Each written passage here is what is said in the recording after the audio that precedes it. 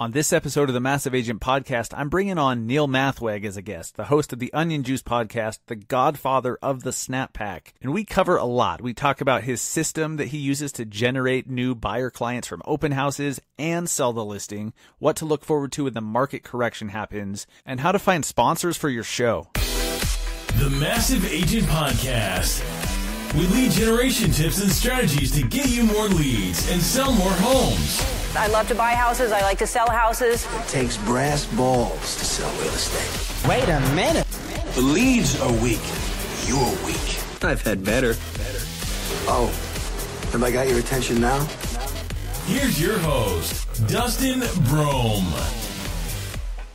Hey, what is up, everybody? Welcome to episode number 31 of the Massive Agent Podcast. I am your host, Dustin Brohm. I'm a realtor in Salt Lake City, Utah with eXp Realty. I'm the founder of the Massive Agent Society and SearchSaltLake.com. I think you guys are in for a treat today. This is this is a very very good episode. We go we go in depth. This is the longest episode we've ever done.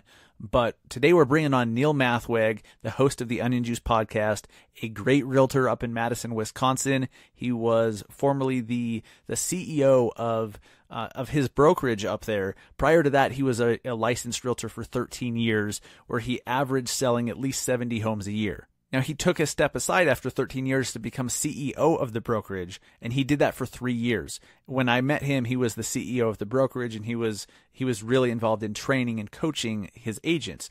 But he's recently, within the last year, he's actually stepped down as the CEO to become a licensed realtor again. He is now a full time realtor once again, and he's what's crazy, and you'll hear it from him. He's basically starting over from scratch. I get asked by so many people, new agents and people who are moving to another market, and they're basically starting from scratch. And they're like, "Hey, what do I do?" Like, "I don't, I don't have a database here. I don't have any contacts here. What do I do?" Or if you're a brand new agent, you do have contacts, but you don't have any uh, any experience in the industries. Uh, two totally different things. But Neil, uh, he is starting over from scratch, so he has some great perspective on what that looks like and what he's done since starting over to really get the business cranking again. And he's since built a bit of a team, and he's he's rolling and he has some great things to share to help you to do the same thing that he's doing. We cover a lot of different topics, and for you guys that have reached out and said, "Hey, you know, why does it only have to be 20 minutes? Why can't you do, you know, 30, 60 minutes?" Here you go. This is for you. There's a lot of gold in this one, guys. There's a lot of gold nuggets, so take notes, rewind it, what, do whatever you need to do, and I promise you there's value until the very, very end. So let's get into the interview with the man himself, Neil Mathweg, the host of the Onion Juice podcast. Here we go. Hey, what's up, everybody? I'm sitting here with the godfather of the Snap Pack himself, Neil Mathweg, host of the Onion Juice podcast, and your coach as well, real estate coach. Yes. How you doing, many, man? I'm doing great, doing great. Awesome, welcome, welcome to the show. Excited to be on here, man. This is great. Absolutely. You're the you're the uh, you're the uh, Bill Murray of the Onion Juice podcast. You've been on so much, and it's awesome for me to finally get on your show. So this is great. Uh, well, you got to start somewhere. I mean, Great. Bill Murray, Bill Murray is something to aspire to on on my show. So let's got to start with the first, right? That's right. That's right. Yeah, Start from the bottom. Now we're here. It's good. all the way up. That's right. so, so your your podcast, uh, you're at like episode 147 or something. yeah. Yeah. It's Awesome. crazy. Amazing consistency, and you know your podcast was definitely an inspiration for me for getting started because I saw the power of the podcast, and and so that it's been cool to watch you and and to be on your show a few times. Um, it's crazy. So when I call Neil the Godfather of the Snap Pack, it this goes all the way back to his his podcast episode 23 where he he brought on um, five of us uh, and him who were on Snapchat and we were using Snapchat for real estate and Alex Wang in Silicon Valley he's like oh we're the Snap Pack and Neil kind of facilitated that whole group and had us on um, subs I almost used a big word that I have no business using I almost said subsequent but let's not do that Whoa. let's not do that. That's that's weird. But he had he had us on on other episodes in the future, and it, the Snap Pack just kind of started. So you're the godfather of it all, my friend. Yeah, yeah, and I, I still, I mean, that's 120 some episodes ago, 120 weeks ago. Man, we were just babies That's like two at, the, years, at the point. Yeah, over yeah, two years. Yep. And I still remember recording that show. I mean, one of them is I I called uh, Eric Larkin old. Um, Yeah, the old guy. The old guy. I'm like, so Eric, you're the old guy. How do you use Snapchat? So, and uh, I've never lived that down. But then I also just remember too, just uh, how you and I clicked on that show, and like, uh, just just um, the, the insight that you had, the knowledge you had, and uh, it's been awesome to to collaborate with you over the years, and and I'm just pumped that you got this show going because you're full of great ideas and great content. So it's, it's good stuff. Thank you, sir. Thank you.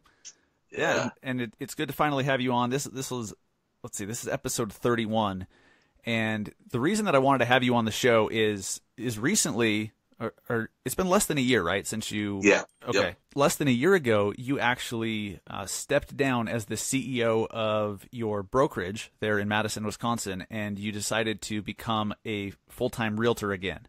And so, Right. and how many years were you uh, were you the CEO of the brokerage? So I was the CEO for 13 years. I'm sorry, I was the CEO for three years, and I was uh, an, an agent prior to that for 13 years. Okay. Okay. Uh, so yeah. 13 years as an agent, you become CEO for three, and shit, the industry changed a lot over that three years, didn't it? Definitely did. Yes, yes. Was, uh, technology and everything. Yes. Yeah.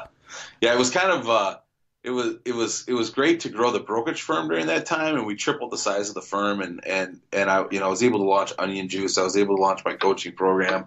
Uh, I did it all because I just absolutely love coaching. Um, but then it was like.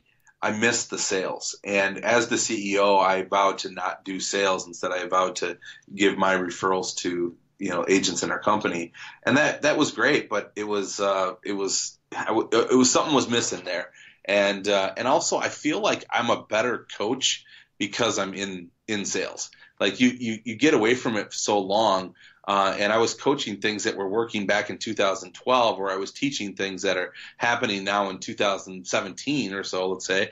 But I didn't even know if it worked. You know, I mean, I was I was coaching ideas and not being an actual practitioner. So now You were a total fraud, is- basically. That's right. Total that's fraud. Right. Right. Yeah, like I think that this is a good idea. I think it'll work, and if it doesn't, I don't know why it wouldn't. You're not doing it right if it doesn't. No. Totally. Um, but now it's like, hey, I, I the you know the things that I'm coaching, I'm doing in the grind every day. So it's it's much more powerful this way. Love it. Yeah, that makes a lot of sense. Is it, you do become a much more effective coach if you're if you're actively prac practicing what you're coaching, for sure. Yeah. Yep. Yep. So so you stepped down as the CEO uh, less than a year ago, and you're now back as a full time realtor. And so I wanted to talk to you about what it's like to start over, to start from scratch, because I imagine like you literally started from scratch, even though you had some expertise and and perspective from from those 13 years. Things changed so much, and like you hadn't been a realtor in three years. What was that? And what was that first month like when you when you're like, okay, I'm a realtor again? What was that first month like? it was it was harder than what I had imagined. I thought I would flip a switch and it would just all come back. I was doing 75 to 100 transactions a year for 13 years, and so I thought, you know, I'm gonna I'm gonna flip the switch and and and I'm gonna build this right back up. Uh, it didn't happen that way. I mean, I got I I had a you know few sales that happened right away. You know, people that I just happened to time it right that I reached out to them and, and they were actually thinking about doing something. But but for the most part, my database of 330 customers was was left alone for three years. They had moved on. Uh, you know, I mean, and in in those in those three years, I had uh, well over I don't know, probably 60 to 70 of them call me and want me to list, but I had to tell them that I wasn't doing sales anymore. So they've all moved on. A lot of them listed with other agents in our firm, but I was I was starting over. Uh, also, I had no Facebook presence. I had no media presence.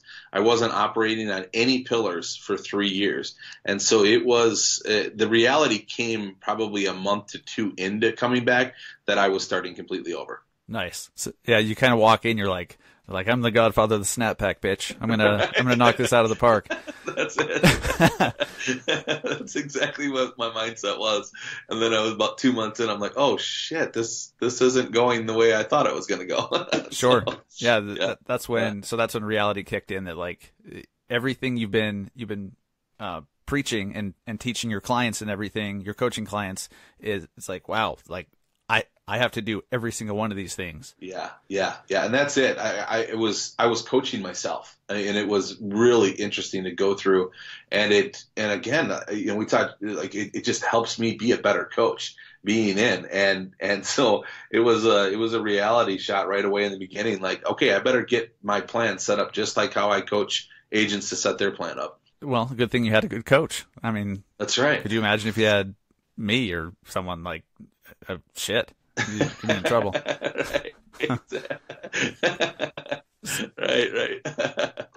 Uh, just just go sell houses, dude. Right? Yeah, that's all. It's funny. Yeah, I think everybody experiences this, but when I first got in the business, uh, my my wife, who was just my fiance at the time, she's like, "Oh, I, you know, how many houses did you sell today?" well, I sold four today, and tomorrow I've got another seven. not not exactly. Uh, yeah, it, it's we work in a crazy, crazy industry, but it's it's rewarding, and if you bust your ass doing the right things consistently, it pays off. Um, I, I wanted to ask what what did you notice this time around being a realtor that is completely different, or just that's changed uh, in a, in a way that is unrecognizable from when when you were a realtor the first thirteen years? Yeah, I just the way that I was chasing uh, was different. So uh, what I what I coach is that, is that to have a three pillar plan. So the first pillar is what you're going to do with your sphere of influence. The second pillar is what you're going to do to chase, and the third pillar is what you're going to do to attract. The chase is really what has been different for me. Uh, my two chases that I have is Facebook advertising and open houses. And prior to in, in the in in previous years, there was a statistic out that only one percent of houses sold from open houses. And and so I was actually, if you look at my YouTube channel, I have a video from like 2012 where I am just bashing open houses and and just saying that they they don't work. That you know everybody shops online today. That you know open houses aren't a aren't a thing anymore. And I really my mindset my mindset was away from open houses and they were more towards what I had a pre-recorded information line. I had a 1-800 number where people would call in and get the pre-recorded information, and then it was caller ID, and then I would I would call them back, and that's how I was doing a lot of my chasing. I was also doing the FSBOs and expired back then. And and I feel like today's market has changed so much for FSBO and expired hunting that uh, that most of the FSBOs are listing flat fee MLS and therefore they're not available. They're, you can't in the state of Wisconsin we can't solicit them uh, because they're listed with a broker. And then uh, and then the expireds were were is also hard in this market because houses there's not a lot of expireds. There's there's houses uh, everything's selling. Um, and so it was really difficult uh, for me to get back and, and like say, okay, I'm going to focus on FSBOs and expired like I did in 2013 through 15, uh, and absolutely crushed it in that time with FSBOs and expireds. And so switching to going with Facebook advertising, which I didn't do prior to becoming the CEO, and switching and focusing on open houses uh, is again something I didn't do. Um, and so my chase is what was completely different uh, than than ever before and a totally different market too. Um, you right. know, like you said, there's no expireds, and I mean, same thing in Salt Lake. If there's an expired listing, there's a problem. Like, I don't want to go anywhere right. near that expired listing. Right, right, right. Yeah. Yep. Yep. That's not something I even entertain as an option anymore. Is is uh, farming expireds? Maybe for somebody it works, and they might find one out of you know, however many. Yep. Yep. One out of three, because there's only three in like the whole county. right, right. Yeah, but yeah, yeah, the market has changed dramatically as well. Um, that's interesting though. So uh, you do a lot with open houses. I've heard you talk about open houses on your on your podcast. Tell us a bit more about what that looks like uh, for somebody listening, and uh, maybe they're brand new and they're wondering, hey, how do, how can I get my first few deals? They don't have a, a huge budget. What should they do? And is open houses the right the right uh, route to go for them? Yeah, it, that's the beautiful thing about an open house is that it's it's for an agent that doesn't have a lot of money to invest. It is ideal, uh, and and so you're going to need to invest in signs, and you want to have your system down for your open house, and you want to do open houses with excellence. And what I've what I what I do and what I coach my team to do at open houses is we really focus on providing value uh, to to the customer. Um, so we always give out. We have the home scouting app that we always uh, let people know about if they if they're a first time home buyer. We have first time home buyer grants that we know about, and so we're always trying to connect them with the lender to to uh, you know get involved in the first time home buyer grants. And so we're always trying to provide value, but what we're really, really focusing on, our one mission out of everybody that walks in the door is to get their criteria. Uh, we ask them questions like, you know, if I'm standing in a tri level, I'll ask them, so do you like the tri level or would you guys rather have a ranch or a two story? Uh, and you know, and then what what didn't you like about the house? Oh, it doesn't have a master bathroom. Okay, I understand it. So master bathroom is really important to you. Uh, what do you think of the garage? Is that garage size pretty good for you? Uh, does it have enough bathrooms for you? You know, and I and I'm I'm just asking them questions about the house that I'm standing in to gather information on their search criteria. Then what I'm doing is I'm taking, I'm putting all of their notes in Follow Up Boss. This is the CRM that we use, and we put all of their uh, information in our CRM so that we have their search criteria. We're using iPads for them to sign in because we're getting accurate information, and then we say that we're doing a paperless open house. So what do you the, use to get them to sign in? Um, it's actually Easy Agent Pro. So you're using their open Pro, house uh, yeah. functionality. Awesome. Yeah, yeah, yep. And then that uh, that sends them a text with the information. Actually, we have it going right to Follow Up Boss, but Easy Agent Pro you could use their Texty program. But we uh, we go from the the app to Follow Up Boss, and then Follow Up Boss texts and emails them the brochure. And so what we say is we just we do paperless open houses. So go ahead and sign in, and we'll and then that'll automatically email you and text you the brochure, so you can have it right on your phone as you're walking through the house. And and we get everybody to sign in, and it it, it works great.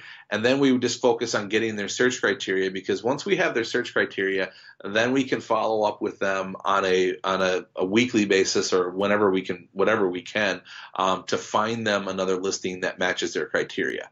And so um, we want to get them set up for searches, but in our market, we also have coming soon marketing. So we have a withheld by seller status. So we search that withheld by seller status two times a day uh, to always be looking for houses that match up with our other buyers. And really, what I focus on is just becoming a matchmaker. Um, I want to find, I want to get buyer search criterias, and then I want to look for houses that nobody knows about yet or that are not yet on the market. And then I call them with that information and say, hey, there's a house coming on the market. It's going to be listed next Wednesday. Um, do you want to set up a time to see it? I'll get the address once I can. I'll tell you more about it once I can, but just wanted to know if you have any time next Wednesday to see a house. And uh, and that's how we're winning. That's how we're that's how we're you know we're we're meeting buyers. Um, that's how we're winning at open houses. We're very intentional. We have a a, a plan uh, in place to capture these buyers, and it, and it's working wonderful. Fantastic. I, I know a lot of people do have success with open houses. Here's my beef with with open houses, and and I've heard I'm going to push back a little bit because like for getting for getting new clients for for attracting new buyers, it's awesome. But as far as selling that particular listing, that you are doing the open house for, is it really effective? Yeah. So in this market, it is because almost well, we we we list every house and we do an open house on that on that first weekend, and we are getting you know in this market we're getting tons of people through. In previous markets, no, it wasn't, and and that's why I was against it because I wanted to do what was best for my seller. Okay. And so what we used to do in the previous market is that we would do no showings until Saturday's open house or Sunday's open house. And we would do open houses for one hour versus two hours. And, and there, there, what would happen then is in a market where there was no urgency, we would create urgency because they would get to this open house. It was on Saturday. It was, it would stand out from everybody else doing them on Sunday. And it was only for one hour and it created this frenzy. And so that's how what we would tell the sellers is that by doing it this way, it's going to benefit you. Every other way is it just brings the neighbors and the tire kickers out and it doesn't actually sell the house. And in fact, only 1% of houses sell from open houses. Now I look at this market and I look at the buyers that that are coming to the open house.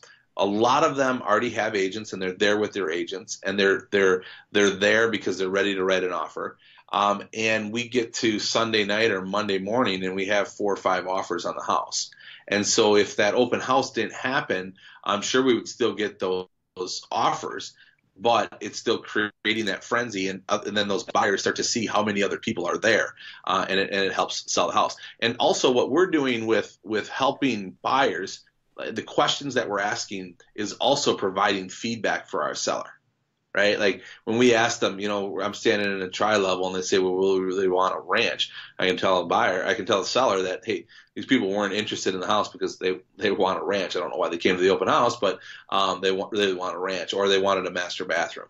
And uh, so it, it, uh, it provides information.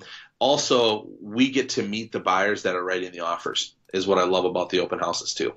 Uh, if, if you just have the showing set up, the, the, the you know we're not there for every showing, but uh, if if we're there uh, and the you know the buyers with their agent and and they love the house and we get to meet the agent and the, the buyers and uh, it just helps us give more feedback to our sellers to to help them understand if this is a good offer to accept or not.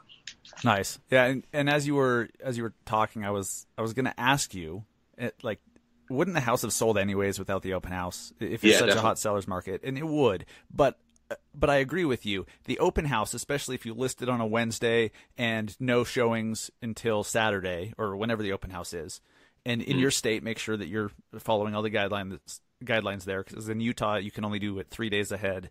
Um, if you're not going to accept, if you're not going to let showings happen, it needs to be listed no more than three days from the open house. So if you're doing that, yeah, that creates a, a frenzy. And and I I love the tip you gave for for those for those people who are listening who are not in a hot sellers market, and those markets are out there. There's there's slow markets. There's even uh, downturning markets, and so that by doing the open house for just an hour and listing it, and then no showings until the open house, that's a great way to create uh, a create demand uh, for for a listing when maybe there wouldn't have been nearly as much. So that's I love that. So uh, I thought of something to go off on a tangent about. You know, I've got to go on go off on something Right?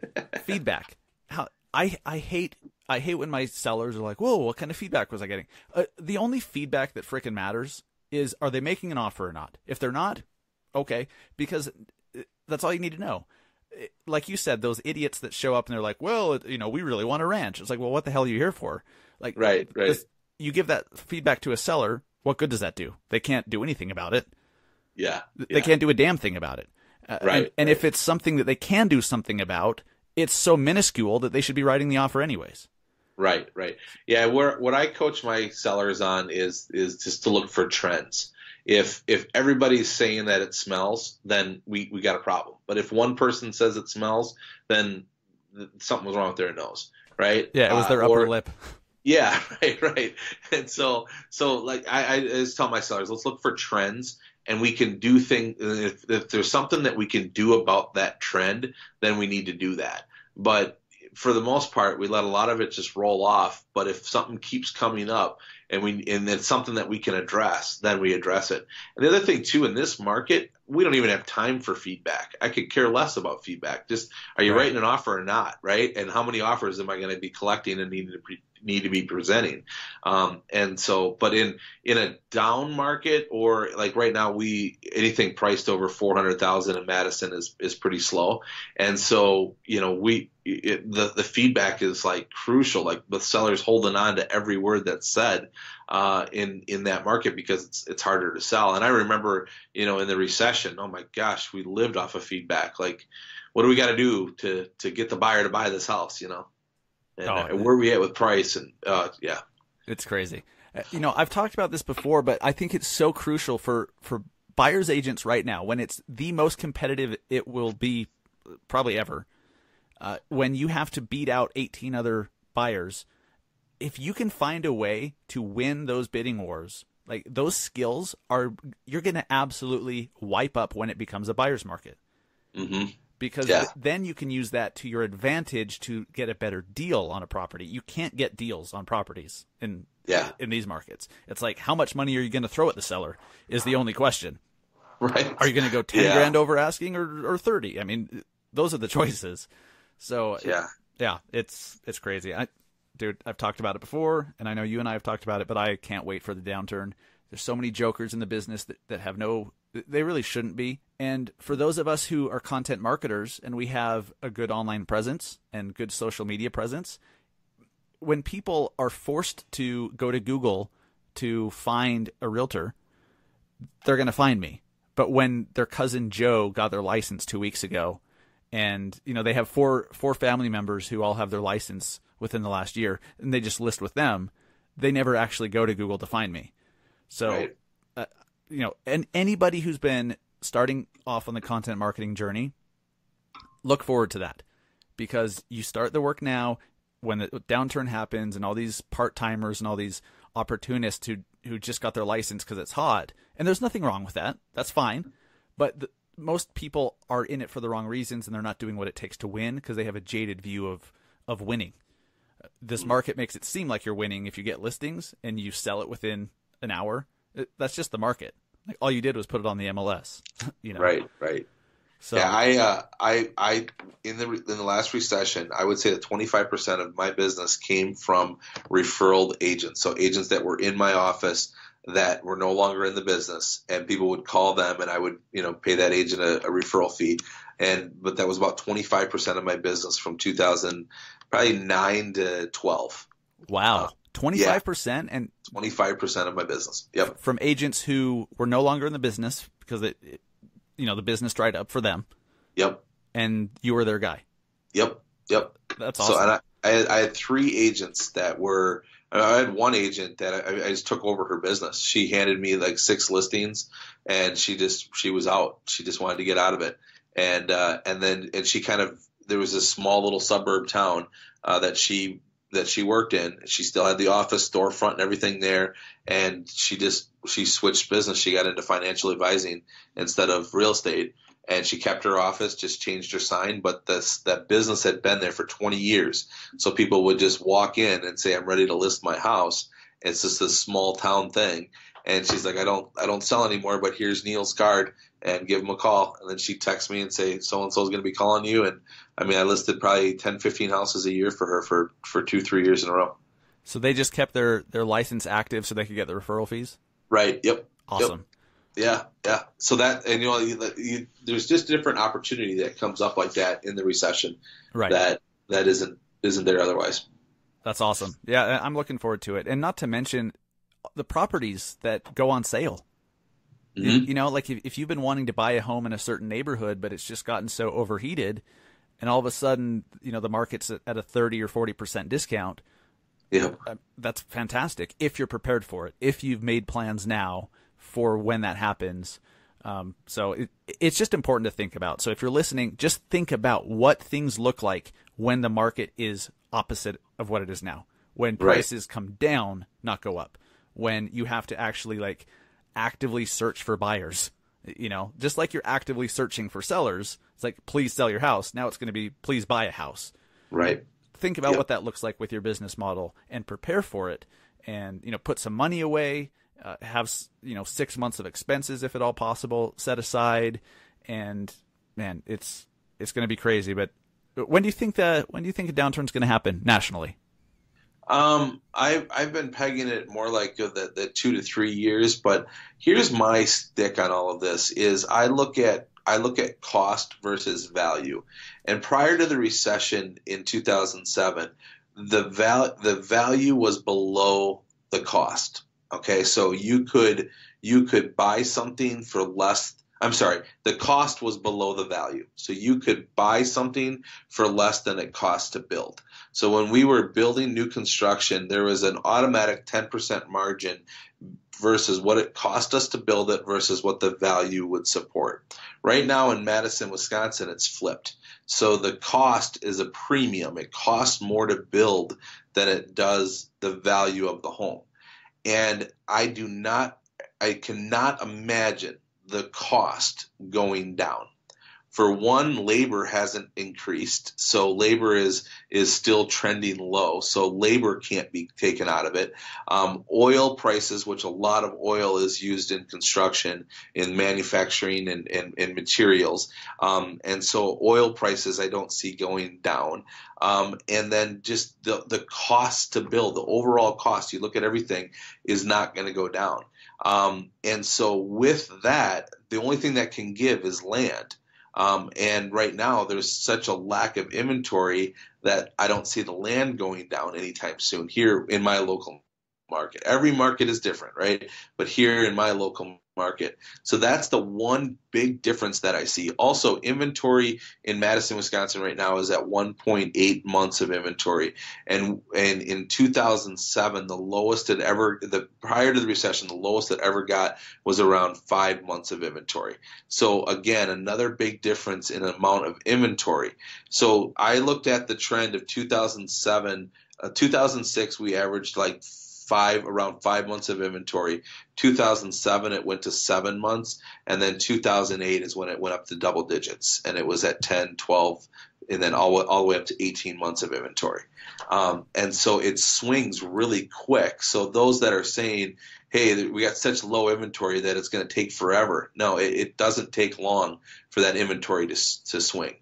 Um, and so, and we're seeing higher inventory and higher prices right now um, that's starting to get more even into a seller's market. We've you know over over I think it's over five hundred thousand maybe it's seven fifty here in Madison is at uh, is at eight months of inventory. So seller's market, the balance market is at six. So I think uh, I just I don't I think we're going to have a correction. I don't think we're going to have a recession. Is what I think. It'll be really interesting because it's just a different world than it was back then, and I wonder. I wasn't even talking. I wasn't planning on talking about like macroeconomic shit, but let's do I'm it because we're obviously we're obviously like certified credentialed economists here. Right, obviously, especially me. So, no, jokes aside, like you know, we yeah. have to stay up on this stuff, and it's interesting, and you know, like I follow the crypto world and and Wall Street and everything too, because it all it's all kind of intertwined in real estate because real estate is an asset, just like just like stocks, just like bonds. So it's good to know this stuff. So it's a, it's a totally different world where like what effect did all that money printing do that happened after the last recession, you know, with with the quantitative easing. All that money that's just been pushed into the economy by the Fed, what effect is that going to have long term? We don't know because that hasn't happened in previous recessions. And so it, I don't know. It's going to be interesting. It's I think it's I think we will have a recession, but it'll be for completely different reasons, and I don't know what those are. But right who knows? Uh, just yeah. be prepared. That's all. Yep. And and just if you're listening to this and you've never been through a recession, don't don't have fear around it because I, I mean I did have some rough years. I'll never forget 2011. It was it was I uh, I made as much in 2011 as I paid in taxes in 2012. So that's how that's how reversed I was in 2011. Um, but but don't have fear around it because there's opportunity in every market, and and you just have to shift. You just have to be okay with it and shift and not get wrapped up in the sky is falling. I mean, I remember there was there was days where I I I mean, when I, I remember when when one of the finance programs that we used, uh, uh, we did um, half of our deals. Uh, it was a it, it, was a program here in the state of Wisconsin, and they they they stopped the program. They no longer were going to be lending. I'm like, what? How how are we going to sell houses now? Uh, you know, so there was all these things that just came that you really felt like the sky was falling. And then I had never even heard of short sale, never even heard of foreclosures, uh, and that ended up being a majority of my business moving forward.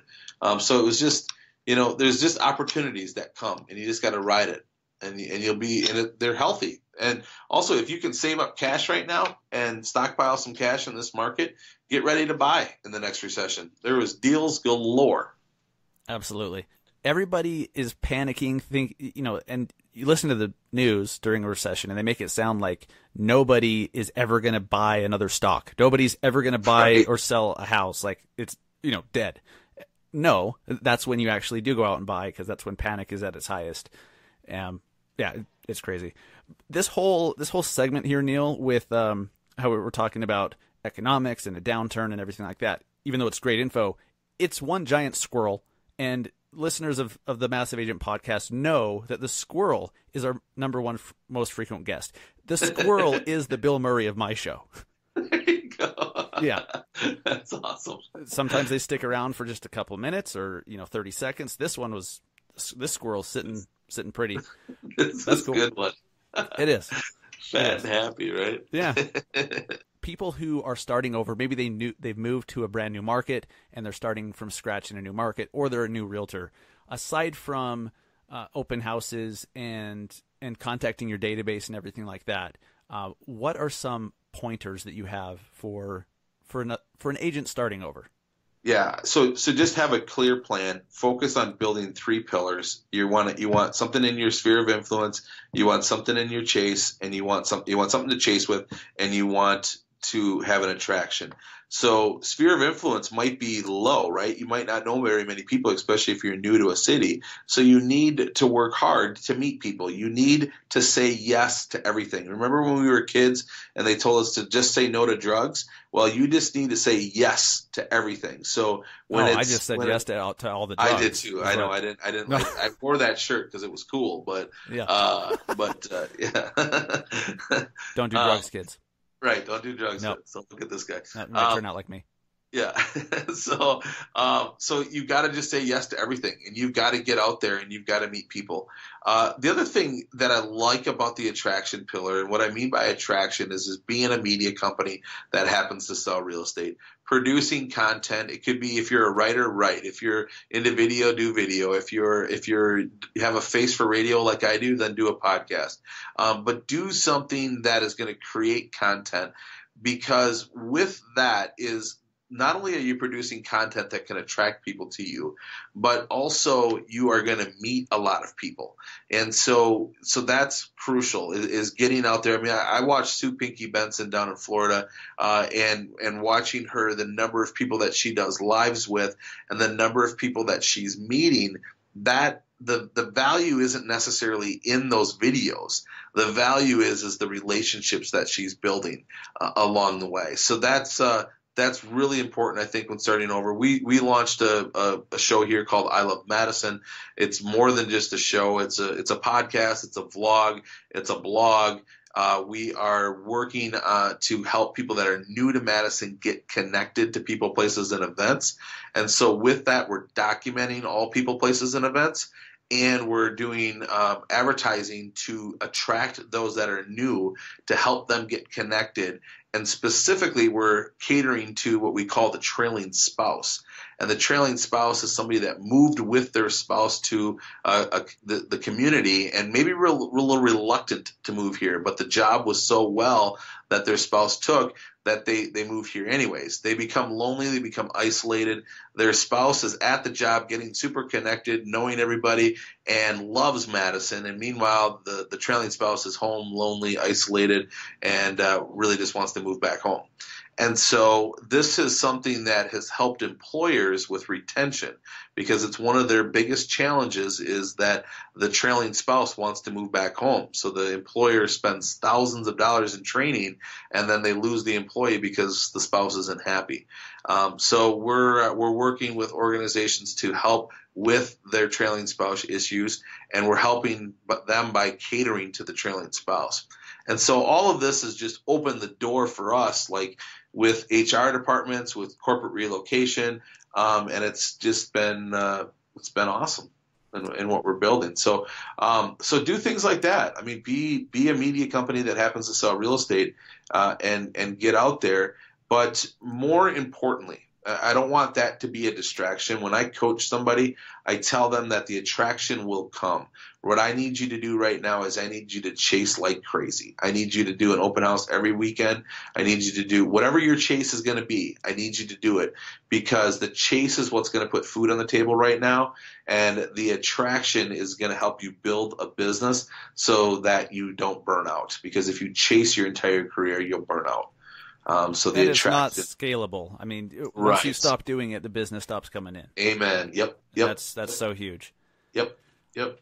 Love so it. you got to find that balance, and uh, yeah, Yeah, I I've loved watching I Love Madison, and what was cool is last October, October 2017, we were in Park City for uh, for the REM event, and you were just formulating your plans for I Love Madison, and I don't even think you had quite launched yet. Have no, had we you? had not launched yet. We were just about to. just about to. Okay, and, and to see what you've done with it from from then until now is awesome. And it, so I'm thinking of starting a show called "Yes, I Do Love Madison," and and it's just going to be me like fangirling you and I love Madison, right? That's it. Yeah. Or maybe we love Madison. Would, would that be Yeah. would that be wrong? Yeah. Would that be a problem? Yeah, I love Madison too. That's another one. I do too. yeah, I do too. Why only you get to love Madison, Neil? Right. I love it too. Yeah, that's a monopoly, Neil. We have monopoly laws. You know? Right, right. That's right. You can't just own the city. Yeah, Neil. Yeah. So we were Yeah. talking a little bit before we started recording about I Love Madison, and, and I think I think this is really valuable for everybody to get because they've heard me talk a lot about content marketing, probably so much that they're like, "Shut up already" about content marketing.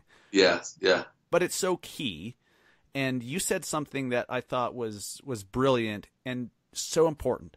So when people are trying to decide what to do, like do they do a vlog? Do they start blogging? Do it? Do they do a show? Do they um, do a podcast? Whatever, and they're trying to figure out what's going to work the best.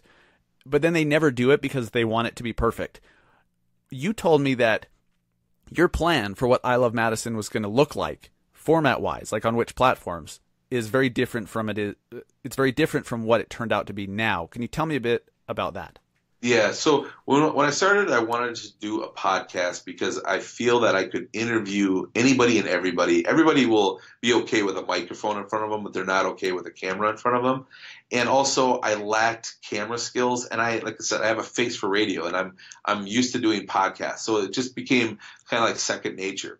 Well, then uh, I brought on Caleb Jar, who's a wickedly awesome videographer. He's super talented. He's fun. He's got a great personality. And so he, I brought him on board to help me with the videos because I knew that I needed to do video, but I was only going to do like video uh, introductions of the podcast. So I brought him on board to do that. And then him and I were like, we should do an I Love Madison vlog and just document the building of I Love Madison.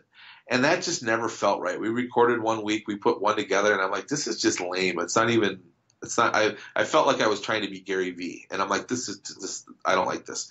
And so we didn't do anything with it. Another couple of months went by and we're like, "Ah, I know. The vlog should be about documenting Madison. Let's try to go to all these events. Let's do like Caleb versus Madison and have him try to do different things. Like recently, he just faced a a, a pitcher from a minor league baseball team here in Madison, 85 mile an hour pitch to see if he could hit a ball. Um, so we started That's doing awesome. things like yeah, yeah. So we started doing things like that.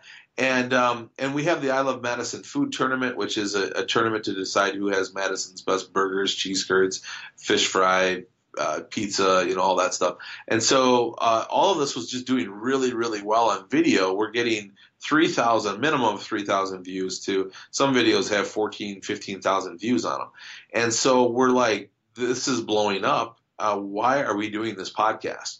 And so we we brought the podcast, we changed the format of the podcast to talk about the behind the scenes of the vlog because we're interviewing a lot of interesting people in Madison, and there's a lot of side stories that are not being told on the vlog, and a lot of funny shit's happening.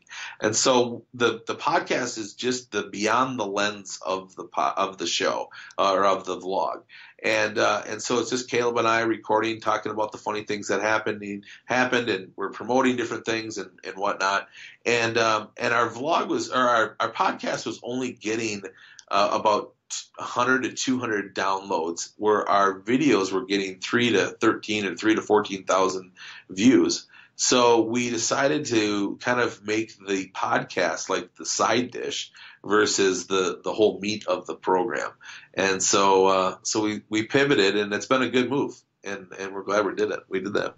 So you you got started and you had an idea and a plan of what you were going to do, but then you got started, which is the key and and the hardest part. You look at the data and then you're like, "Hey, you know what? Like this is different than what I thought." And you had the sense to make an adjustment, to pivot and say, "You know what? It, the vlog is is the gold. The podcast is it's not as cool as we thought." Th- That's amazing. And the key is to just frickin' start because until you start getting feedback from the market, from the audience, it's all theory. Yep. That's it. Yep. Yep. Love yeah, it. and you just try. I mean, I remember when I was all in Salt Lake City, you're like, dude, I love the Onion Juice podcast, but your intro is way too freaking long, and your ads are way too freaking long. Like it's like ten minutes before I get any content out of you. and and I was like, shit, I never realized that. Like I just that's just the way I started, and I just thought that the show sounded good and it and it was growing, and I did it, you know. And you gave me that feedback, and I went back and changed it, you know. And it was like you uh, you've gotta you've gotta make pivots, and and don't be afraid to make pivots. There is it, it not one person noticed, not I didn't get a phone call from anybody saying why is the I Love Madison show only every every other week now, and like why did the format change? Like nobody cares. so just make the pivot, and you're fine. Exactly. Yeah. What's funny? Yeah, we talked about your intro, and then when I started the show, and I didn't know what the hell I was doing. Like I just started it, and people who have been listening for a while, they know my story that I was walking the dog and listening to a Pat Flynn podcast and I just decided, I'm like, I'm going to go home and record my first episode and I'm going to call it the Massive Agent Podcast. Like it just, it came to me. I went home and did it. I didn't have a freaking clue how to do it, but I started Googling shit and watching YouTube videos. And then you just do it. And then you, you know, you get feedback and you make adjustments. So, you know, what's funny is I told you your intro was too long. I started doing that. Uh, I started doing the long intro where I do all my announcements and everything I wanted people to know about. And, and talking about the Massive Agent Society, I started doing that at, at the front. And then I was like, you know what? Like, why don't I just do that at the end? Like, get get to it. So I try to get to it as quickly as possible, uh, because you can still get everything in. It's just you know you learn better ways to do it. But if you were if you hadn't started your podcast yet, you would never have figured that out. Right. Yep. So I love it, love it, love it. All right, so I I want to. I'm going to start something new here because I'm planning over the next uh, four to six weeks having a guest every week. Um, I think you're only our third guest. It's usually just been me pontificating, and yeah. and so I want to bring other people in. And to be honest, collaborating like this, this is good because I can leverage your community and you can leverage mine. Right. That's why so many of the big podcasts out there and shows in general and Instagram influencers, they all uh, give shout outs to other people. And they're all uh, guests on each other's shows. It's so that everybody can leverage each other's networks. Yeah. So that's something you need to be doing too. If you have a local show a local podcast a vlog whatever get guests on because they are going to share it with their networks and that's a way for you to leverage their network. So i'm going to be doing that because i want to leverage the le- uh, the networks of my guests. It's i mean it's purely selfish but at the same time it's collaborative that's right. Yeah. That's how, you've good. been doing that forever with your show, and it, it yeah, you know it works. You grow yep. faster. Yep. So something I want to do real quick. You've got to pick one or the other. I'm gonna I'm gonna throw out some some phrases here, or not phrases, but choices, and you have to pick one or the other. And we'll see where this goes. I I thought of this like as we were recording. Let's roll I'm with ner- it. I'm nervous. You should be. You should. You know, if I had a little bit more time to prepare, I could have come up with like some gotcha questions or you know something that would embarrass you. But first off, I love you and would never do that. never. Aside from coming on your show, that's as embarrassing to you as I get. But nonetheless, buyers or sellers? Sellers. Facebook all day long. Oh, all day long. Yeah, because you can get buyers from sellers. That's right and with with listings, you can actually use your marketing skills. You can't right. so much with buyers. There's no marketing. Right. Right. Yeah, yeah I love listings. Facebook yeah. or Instagram? Facebook. Instagram or Snapchat? Instagram. Are we in a bubble or not in a bubble? We're in a bubble. Burgers or cheese curds? Both, man. You got to have them together. They're like they're like uh, burgers and fries here in Wisconsin. It's burgers and cheese curds. Well, see, now you're just breaking the rules. And if you want to be a guest again on the show, Neil, you're going to have to follow the rules. All right, I'd rather have a I'd rather have a burger. Yeah, uh, yeah. right on, right on. Podcast or vlog? Vlog. Denver Broncos or Green Bay Packers? Packers, go pack. Okay, well, it really went off the rails there at the end with that wrong answer, but um, all right. No, I, am going to try to do that with every guest, and I'll, I'll think of some uh, some better ones. But um, I like it, man. Yeah, it just gives a little quick insight into priorities and, and what you're thinking. Yeah, yeah. Hey, so are you messing around with with any voice marketing stuff like Alexa skills or flash briefings? So I'm I yeah I'm just starting to get into the voice. Uh, we are going to be doing it with the podcast, and so it's going to be in a in a chat bot, and then we're going to do a daily pro, uh, uh, broadcast, uh, voice broadcast broadcast. I am I'm like clueless on the whole thing, which is just like I'm I've got to like learn more about it. Um, they're they're excited about it and they know what they're doing, and so I'm just going to roll with it. and so they just basically told me I need to keep producing pro- content like I'm producing, and they'll take it from there. So nice, um, yeah, nice. Yeah. So that's coming out soon for the onion juice, and that's just going to be they're just going to do it all through Messenger. That's interesting. Okay. Yeah. Because I've got the flash briefing that I call the Massive Agent Minute, and I just do like 60 to 90 seconds a day, seven days a week, and it's on Alexa. Um, it, it I don't know. It's a way for me to just kind of like rant about something or give a quick thought or an idea that comes to my head. It's a way to quickly do it without waiting to record the next podcast episode. And Okay. it's just an, another way of, of touching people and getting, you know, giving them access, giving them information that they want. Some people want uh, smaller doses of me, but more often, you know, I totally understand people that want smaller doses of me. I get it. right. So, right. so there's their avenue is, is the flash briefing. But I'm this is interesting what you're doing. I'm I'm going to keep my eye on that because that's uh, that's a new way of of uh, using voice and uh, and chatbots Yeah. at the same time. Yeah, yeah. So I don't really get it all. I'm just yeah, like sounds good. Let's do it. right on. Yep. Start it and figure it out. Exactly. Yeah, that's right. That's right. So I had another question, and uh, and this podcast is going a lot longer than normal. Normally we're like 20, 20 to twenty five minutes, but this is going to be closer to an hour. But I think it's it's worth it. I, I get asked a lot for people who want to start content marketing. They want to start a vlog or a show or a podcast, and they get so hung up on equipment and finding somebody to help them, like a videographer or an editor or whatever you've been you've done a great job of getting other people to come work on I Love Madison with you. What pointers do you have for people to find a videographer to, to help them do their vlog? What what advice do you have um, to get that starting and to find the right people?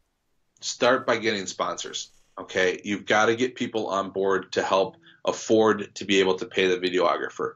Don't go to the videographer and say, "Hey, will you do all this work for me for free for exposure?" Um, it is it is rude to do that to an artist, and and an artist needs to get paid. Okay, that's what they're in business for, and they're not going to get ex- they don't need exposure. They could create their own videos and do their own thing and get their own exposure if they wanted to. They they need to get paid. So don't go out to a, a videographer and look for a deal because that deal will not last. Okay, it'll be short lived.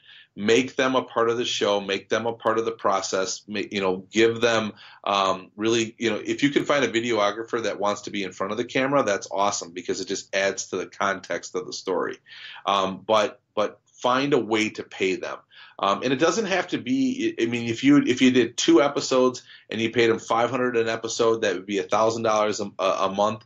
Um, that that would be that would work. And then just go find sponsors to sponsor that thousand dollars a month, or say I'm going to make this an investment in my business, and instead of spending uh, a thousand dollars a month on Zillow or whatever, I'm going to put it into this show, and I'm going to really work hard to have a good call to action on the show that's going to bring bring me buyers and sellers.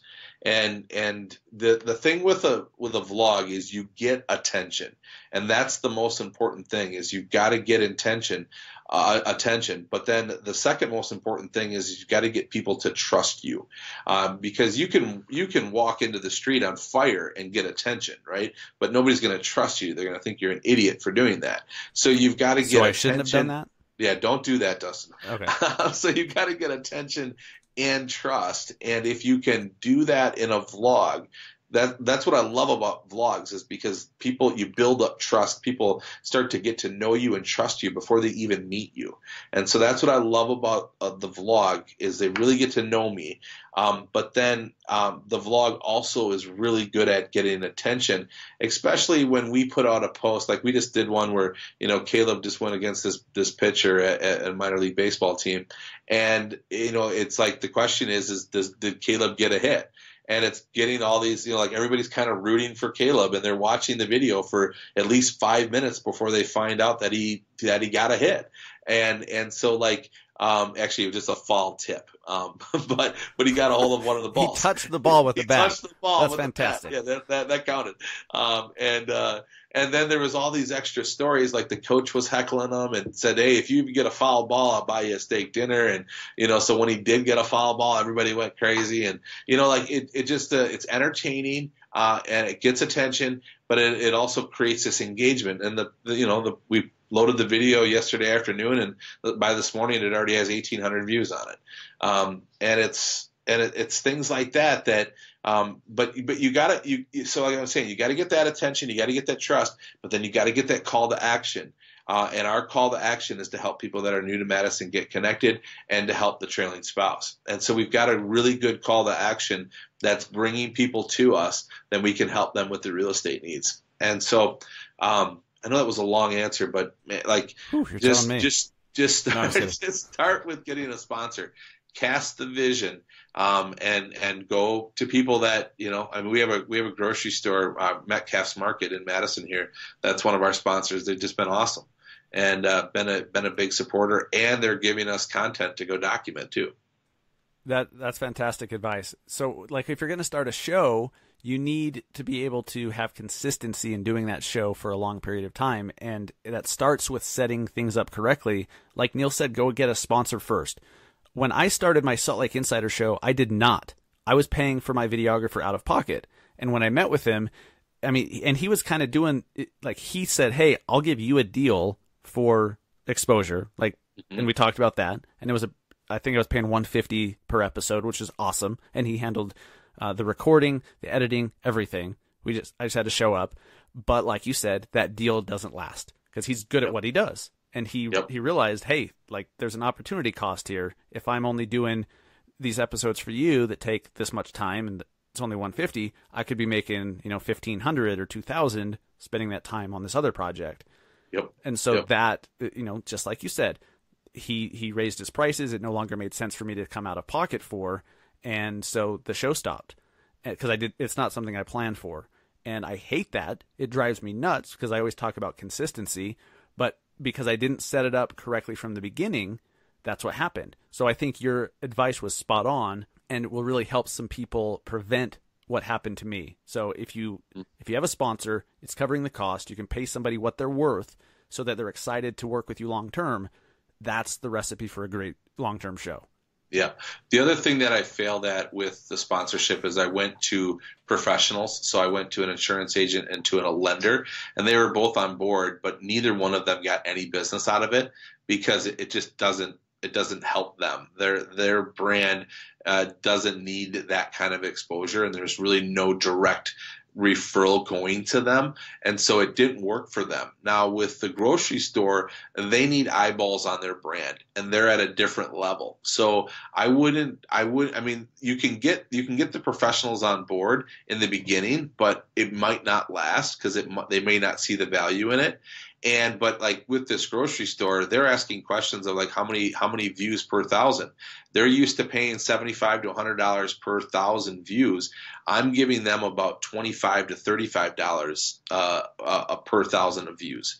And so they love me and and they also love our personality in there and we're an influencer for their brand.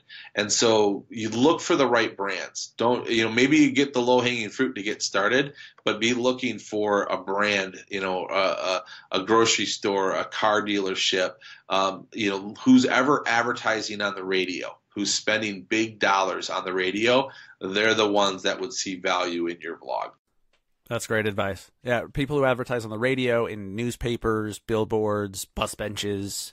yep Strangely, a lot of realtors do, which is asinine, but that's another show. Awesome. Neil, right right yeah great stuff today. We we covered a lot of different topics. Uh, you know, when you and I get together on a podcast, we just kind of roll with it, and I think there was a lot of great stuff that came out of this. Even though the squirrel did make an appearance, of course, but that's good. We like the squirrel. The squirrel's healthy. squirrel's healthy At least that's We what I tell squirrel. myself. right Yeah. that's good Cool, man. Awesome, man. Well, hey, get back to work. It sounds like you've uh, you probably got some listing appointments or uh, showings to go do. I, I know I've got some showings to go do. So uh, thanks for being on the Massive Agent podcast, my friend. thanks for having me brother it was, it was great Absolutely. Talk to you soon. Guys, I know we covered a lot in this interview. I think it, I mean, there's a lot of value here. There's a lot of things to unpack. I hope you picked something up from that that can help you in your business. Regardless of where you're at in your business, I'm sure there's something in here that we talked about and that we covered that can help you. So, really quick to remind you guys, we do have our our Alexa flash briefing. It's called the Massive Agent Minute. All you have to do is go into the Alexa app and click on Skills and Games from the menu in the upper left. Type in Massive Agent in the Skills and Games section, and you'll find the Massive Agent Minute. Enable it, and that's all you have to do. Then just just say Alexa, play my briefings, play my daily briefings, and it'll play. So we do one every single day, and it's my way of, of bringing a tip or a rant or an idea or a bit of motivation or just something that's on my mind in 60 to 90 seconds, bring it to you guys on a daily basis, seven days a week. So it's a way for me to stay in touch with you guys and keep delivering content to you guys every day, even though the podcast only comes out once a week. And now I feel like I'd be derelict in my freaking duties if I didn't mention the Massive Agent Society. Go over to massiveagentsociety.com. That is our lead generation training and support system for Facebook ads and basically showing you how to take full control over your lead gen. So you don't need Boomtown and you don't you don't need Ylopo and you don't need all these crazy expensive platforms and to uh, to run ads for you. We're going to show you how to do it yourself and then give you the support to make the tweaks and adjustments necessary to make sure that the leads are actually coming in. That's the key. So we do that. It's called the Massive Agent Society. It's been launched for a few weeks few weeks. What the hell? It's been launched for a few months since uh, April 1st. And keep in mind, if you're just hearing about it, we do only allow one agent per market. So if you want to make sure that your market is even available to reserve for yourself, go over to the website massiveagentsociety.com and check out the sold out markets to make sure yours is still available. And lastly, you guys have heard me talk a few times about eXp Realty. I am fairly new to eXp. I've been there since uh, since May. I love it. I'm absolutely in love with it, and I'm what I'm doing is I'm building a team. I'm building a team around the world. Okay, in, right now in uh, in the U.S. and in Canada of like-minded agents that we can work together side by side as teammates. Everybody who joins EXP Realty with me, you're getting a free lifetime membership to the Massive Agent Society because I want to make sure you have the tools that you need to be successful. I, I mean, if you're coming to, to work with me and to join me at EXP, I want you to make more money. I want you to sell a crapload more homes and I, and we have the Massive Agent Society, which helps people do that. So you're going to get it for free by joining me at EXP. If you have any questions on how that works or what EXP is all about or any of that, and you don't really want to talk, you just want to like watch things at your own speed, and I get it. That's how I am. Just go to massiveagentpodcast.com slash EXP. Massiveagentpodcast.com slash EXP. There's a video, hit play on it. That explains it. If you have any questions, hit me up after. Simple as that. And lastly, this is very important. I have I have some orders for you. Go out this weekend and get a new client. Okay? Go out and get a new client. Go get one. Okay? That's your goal. Get a new client this weekend. Talk to as many people as you need to. Reconnect with old leads. Send out a, a mass text to some old leads and say, "Hey, I'm available to show homes this weekend. I had I have an opening. So if you still are looking for a home, let's talk." Something like that. Like just reach out to people. Reach out to a few hundred of them through a mass text through your CRM You'll be surprised how many actually reconnect with you. Get a new client this weekend. That's your goal. Thanks, guys. I'm Dustin Brohm, your host, signing off. Take care.